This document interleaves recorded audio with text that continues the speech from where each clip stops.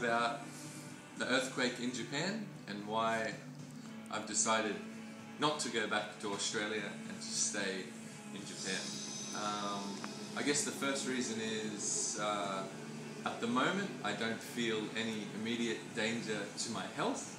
At the same time, we do have to take precautions. Um, some of the water and vegetables have been deemed to have uh, levels of radiation in them, so I'm taking those steps, um, you know, not to have those dangerous products. But um, I guess the main reason I'm deci- deciding to stay is I feel um, I made a decision to come to Japan and to start my business here.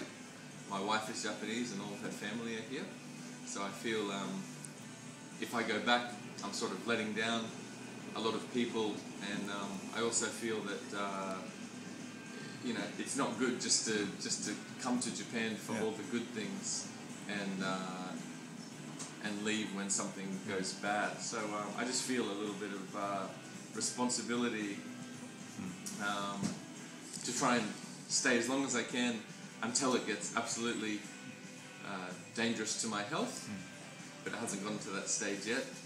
So um, yeah, and of course I really I really like Japan. I went to university here. I've spent lots of my adult life here. So uh, I think if the same thing happened in Australia, I would stay until it was absolutely absolutely necessary to leave the country.